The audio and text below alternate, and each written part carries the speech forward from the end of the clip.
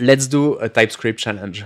And you might be surprised that we do another TypeScript challenge because in the last one we implemented a Turing complete language in TypeScript, namely brainfuck. So essentially we think since all Turing complete languages are virtually equally powerful given unlimited amount of uh, memory and CPU power, that's it. We know that we can compile TypeScript in TypeScript. We know that we can compile React Native in TypeScript. So we don't need to do more challenges. I guess we don't. I think we've. I thought we've already reached the apex. We did a HTML in TypeScript, then we did a Turing complete language, and I have no idea what's about to come. But apparently, it's now the next level. So I still thought it would be nice to to do one, and I so I saw um, Orta Therox who posted uh, Wordle, but types only. And I play Wordle every day. I share the, the, you know, I play with my mom. So every day we, we exchange our results. And I thought it was a really cool idea. Um, and I didn't look at its solution, at, at its solution, but I thought we could try to do it ourselves. Totally. Let's do it. So I have to give uh, Horta uh, credits. That's his idea but I thought it would be fun to to see to see if we can do it. And so this is how you know it would look like. You would set a word. So here, this is a word you have to guess React, and you give a try, and it should gives you the proper emojis. So is it the the letter is at the correct place? Is it not at the correct place, or it's not even in the word?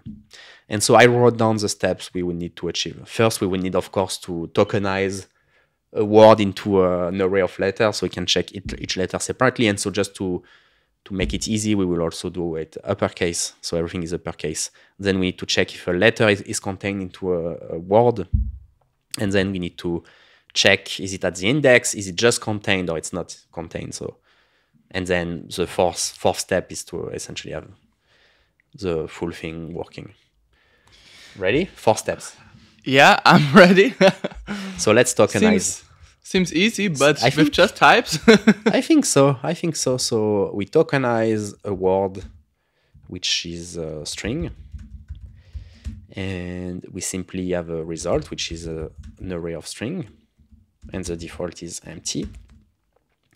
And so if the result length equals no no sorry Already getting oh, confused. Oh, it's quite easy. so if the word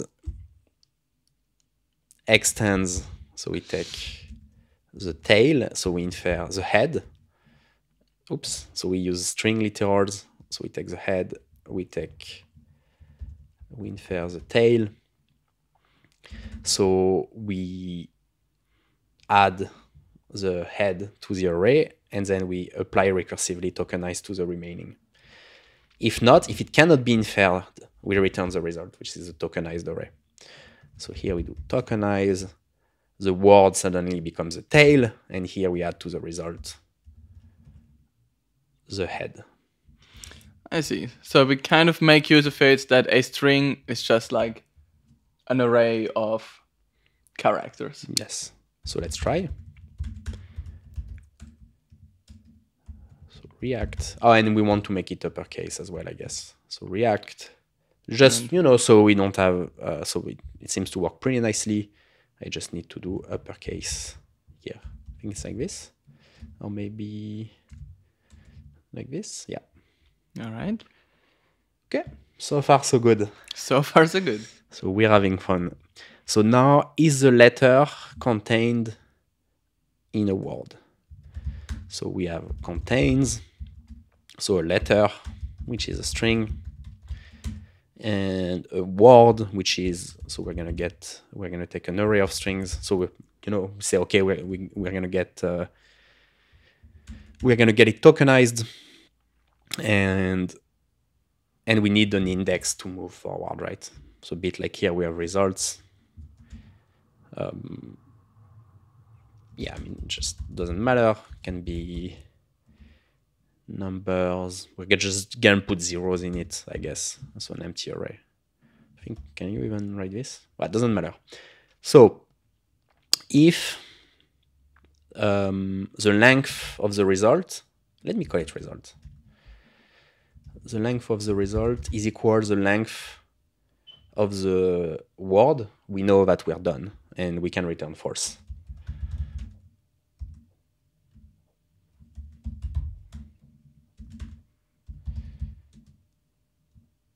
If uh, if not, we check is the word at the current, the letter at the current uh, place. So this is where actually to call it index makes sense. Um, is is the same, then we return true. If not, we continue to the next one. So if uh, the letter, so in the word, so at i length, extends the letter we are looking for, yeah, that's L, we return true. If not, we just do a, recursive call, adding one to the, like increasing the index by one. So it would be letter, word, and the index. We just add one zero to the index. Wow, I you I think I'm still hanging on, but just uh, don't get lost. So this is like the dot includes um, in yeah. JavaScript. Yes, but I types see. only. but types only. uh, let's try. So R is contained into let's say tokenize of, but then it should be uppercase. Tokenize of React. This should result true. And if I do W, false. Okay. All right, yeah. Okay, so now let's do step three. So which is to return. So is it contained or is it also exactly at the same place? Um, yeah. So type Wordle. So we have the guess, which is an array of, you, you see here we tokenize everything up front, and we also have it by using tokenize, so it's all tokenized up front, and we have it also uppercase everything, so it's like no mistakes. So we have the guess, the word to guess, so array of strings, and we're gonna again oh have the result, which is gonna be the emojis. Um, so the result is an array of string. So now if uh, the result length, I mean always our stop con condition, right? When we deal with crazy recursive stuff, uh, extends the the uh, the yeah the length of the word we return the result. If not we need to do two checks. Is it at the same place? Oh actually three three checks. Contains or not? So let me okay let's do the green check mark first. that seems like the the easiest one yes. you compare if two values are equal yeah. at a certain index. So guess at and the index is uh, result length. So this is our index. Extends the word at um, it's easy to get confused, no? Here we return the green check mark. And if not, let me just uh, return a random one, red maybe. Just to test. And then we will add right. green or... So let's try. So, mm, ah, we need to add it to the result. So, um, oops. So here it's a recursive call. So to, what's the name? Wordle. So we have the guess, we have the word, and to the result, we add this condition. And seems correct. So trace, react, and we have the C and A, yeah. So so this is correct, right? right the word to yeah. guess. So A and C, that's right position, and the other ones are for the moment red. So, Blot none is at the right position. Okay. Right. So we have to and now turn we have them to... yellow in the next step. Yes, and we turn it yellow if it contains or not. So if um, so contains so we have the letter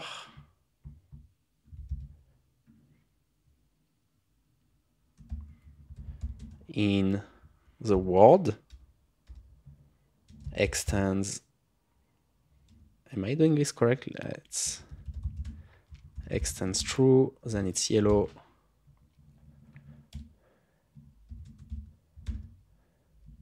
If not it's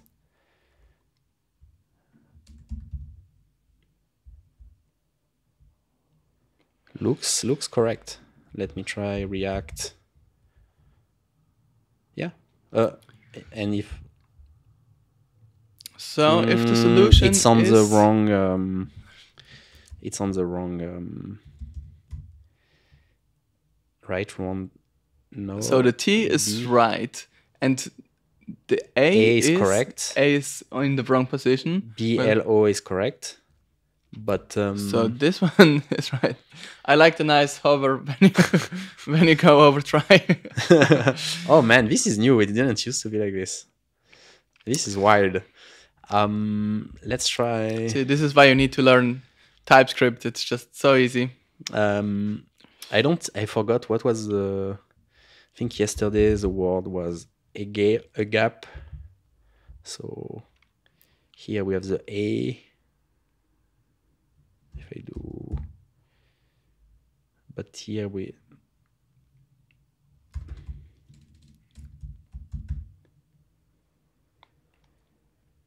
so the yeah e wrong position a seems to be correct That seems right to me as well. I think, well, first of all,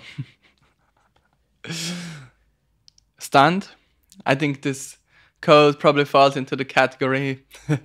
when I wrote this code, only me and God knew how it worked, and now only God knows how it works.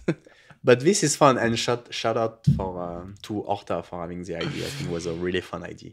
This was really fun to do. Definitely. Orta from the TypeScript, or previously on the TypeScript team. I actually met him in Amsterdam. What a nice guy. Definitely shout out to him. He's the man. Zarno as always to to say it.